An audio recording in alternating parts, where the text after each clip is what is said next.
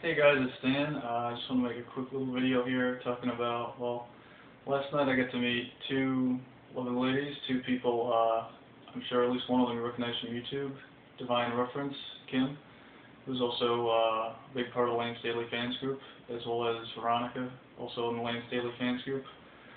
Uh, talked to them for a while online on Facebook and uh, through YouTube, and uh, finally got to meet them last night. It was a lot of fun you know, went out to a little club, saw some, uh, saw some live, heard some live music, and, uh, you know, got to know each other. It was really cool, and, uh, you know, two of the nicest people, you know, I've ever met. So, uh, uh, first thing I want to just mention Kim. I'm going to put her, a link to her channel right here. She's got some great uploads and stuff.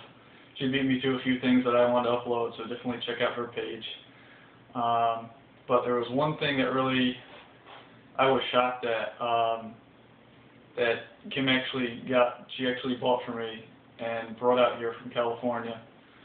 Um, and I was just blown away. I mean, I gave them she won a the contest that I had, so I gave her everything that I had from my uh, Alice in Chains bootleg collection, and I gave her that along with a little Soundgarden concert from uh, the past week. But what she gave me, I mean she she outdid me by far, I owe her big time. It's just so special. I just wanted to show it. I mean, uh, it's funny because up until recently, I had no idea this even existed. I posted a little link on Facebook saying, "Hey, wouldn't this be cool as some kind of giveaway for our 500th member or my 500th subscriber or something like that?" And just forgot about it, and here we here we are a couple weeks later, and here's what she got me: the uh, Angry Chair EP in vinyl. I never even knew this existed until recently. I just happened to see it on eBay, and I was just, I could, I was just floored. I couldn't believe she actually got this for me. Um, and just look, I mean, the interesting thing is that only one, there's four tracks. Only one of them is actually from Dirt, even though this came out in '93 with the Angry Chair release of the single. Um, the other three are from Facelift, and two of them are actually live versions. So I want to play this at least once. I'm thinking about doing a stream for it, um, probably next weekend, something like that. I've got a I've got a record player, so I can do it. Uh, but I mean, just wow. I mean, it's it's amazing. I mean, there's so many great people out there.